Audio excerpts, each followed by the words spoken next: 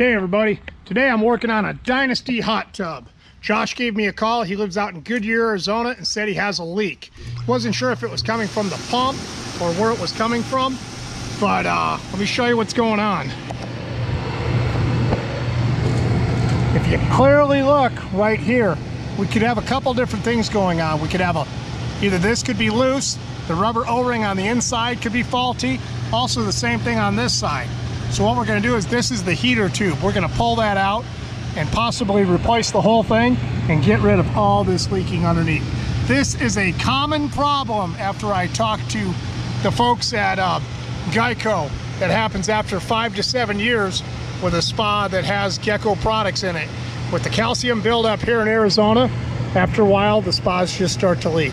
Easy fix, probably take about 20 minutes to an hour to fix, depending on how easy things come off. So stick around and I'll show you how it's done. As always, before you work on or touch any hot tub, shut off the breaker.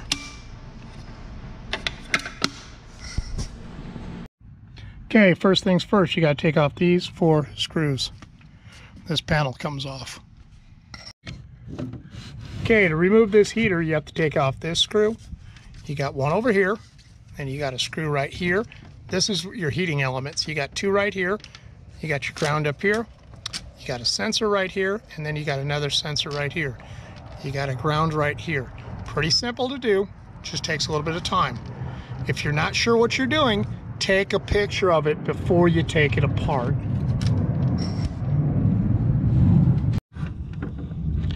Take the ground wire off. Pull your ground out.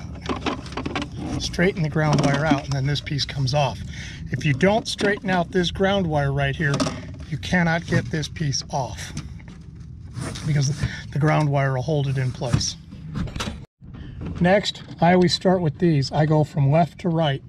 So I take off the connections like this. Don't lose the screws. I can't tell you how many times I've been teaching somebody to do this and one of my guys or a customer will call and say I lost the screw. So it's not hard to do. So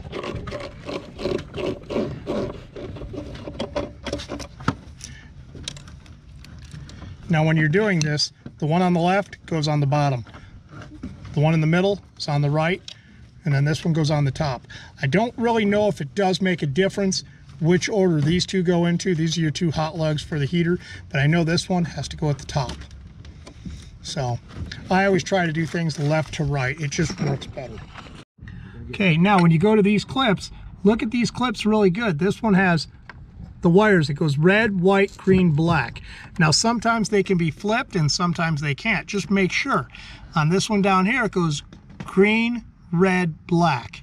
So just make a note of that, you know, a mental note. Take a picture with your cell phone or write it on a piece of paper just so you don't forget. And then just real gently grab, don't grab onto the wires, grab onto the, the piece and then pull it out of there. Same thing down here. Grab on, pull it out of there. Now that you've got all this disconnected, next thing we'll do is these. These are your couplings on each side. Usually I just take a screwdriver and I unscrew it right here and on the bottom and then it just splits apart and the, the, the heating element will come out. Now this one's on the other side. I might have to do it. If you take a real close look right there, see all the calcium buildup right there? That's what I believe is causing the problem and stuff. You just got way too much calcium right there. Well, I now have the heater out and you can see one of the reasons why it was leaking. That is all that is left of the O-ring that was on this side. This one had a little bit remnants of an O-ring and on the inside of the heater tube, it was just all calcium and corroded up. So I do believe I found our problem. So we'll go ahead and grab the new heater and put that in. Okay, this is our new heater, and then this is our old heater.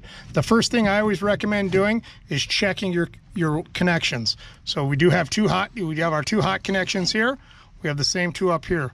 We got our ground right here, and then we have this for one of the, uh, this is probably one of the sensors. I'm not sure which one this one is. But just make sure they're in the same direction to where you got red. It might be yellow, white, green, black. And then I got up here, I got a red, white, green, black, which is the same. And then I got, if I call it this way, green, red, black. And if I go up here, it's green, red, black. So everything is the same on the two heater heaters and stuff.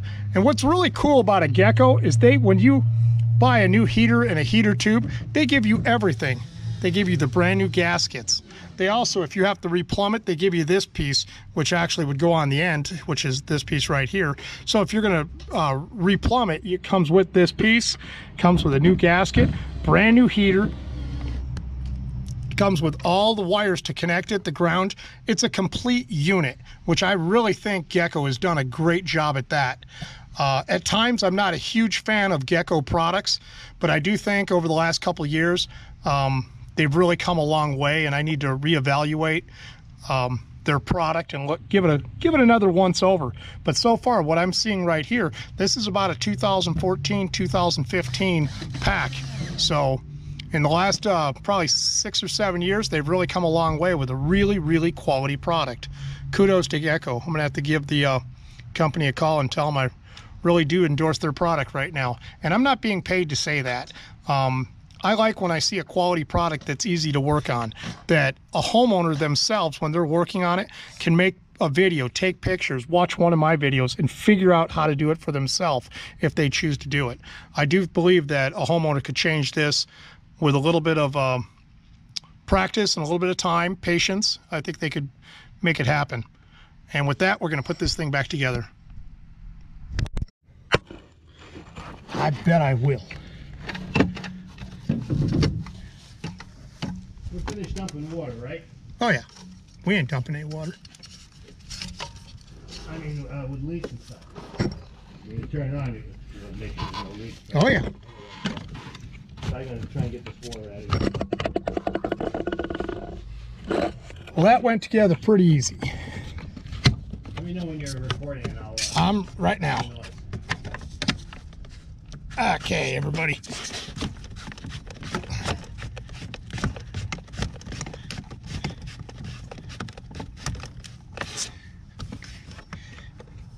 Now, once you got that in place, you do have to turn. You got to turn this so that it is straight up and down. You want to get it as close as you can to straight up and down. And then when you're going to put everything back together, you're just going to go backwards.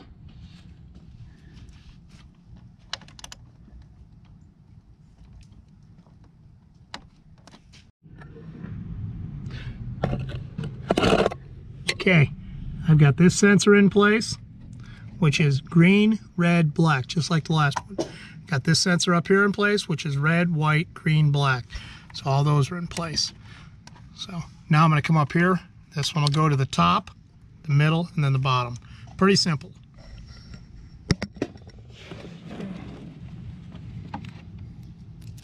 Do not have gorilla hands when you're doing this. There's no reason to. It's not like it's gonna vibrate out and come apart. Nobody's gonna be tugging on it. Just make sure it's snug. I can't tell you how many times I've worked on something that somebody had gorilla hands and I had to turn and just about break the thing off.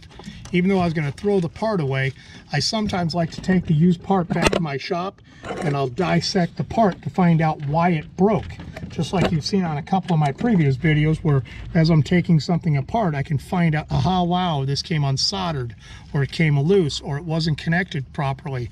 The reason why I'm doing that is because sometimes I'll contact the manufacturer to tell the manufacturer what has been going on with their product, especially if I see it two or three times in a row. So anyways, we've got this done. That's there. Now we're gonna open up these two gate valves and we're gonna see if it leaks right here. We'll open up this one too. This is the time you can have gorilla hands. You can tighten these things down. I don't really recommend using channel locks on these because you will break them. Uh, sometimes you just have to. But you can have gorilla hands on that. When you open up these gate valves, make sure that you put these clips back in place. That keeps these from going back down. The next thing we'll do is we'll put in this. You have to put this in first before you can hook up your ground wire. This has to go in first, then your ground wire hooks up.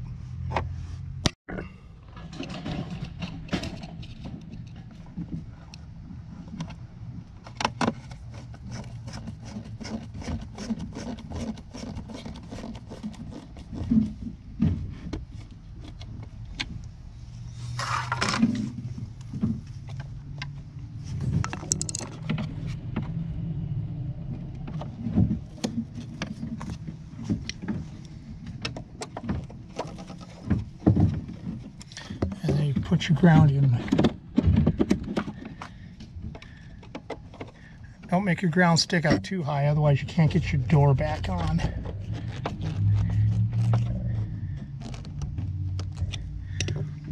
Okay.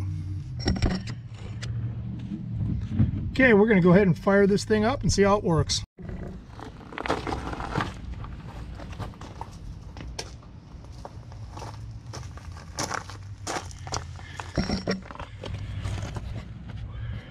What do you think, everybody? Is it gonna work? We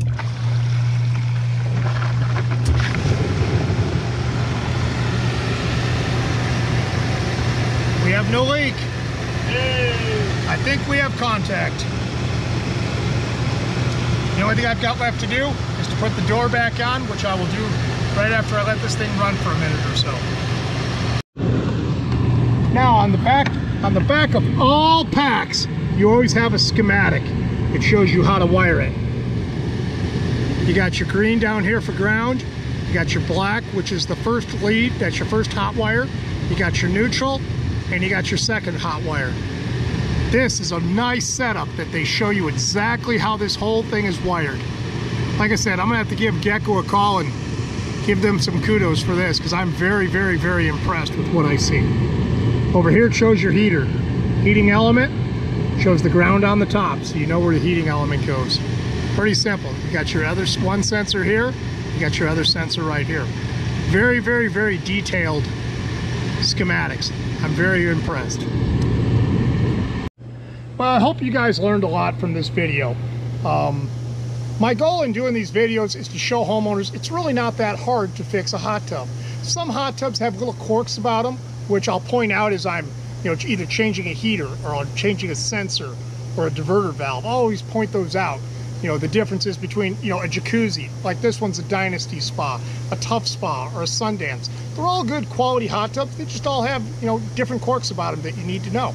Uh, this was not a hard fix. I think any homeowner that has a little bit of mechanical aptitude would be able to do this. Um, you know, it didn't take many parts, I think, or tools. I think the only thing I needed was a uh, Phillips screwdriver to do this job and then, you know, a cord lift to do the uh, skirting around it.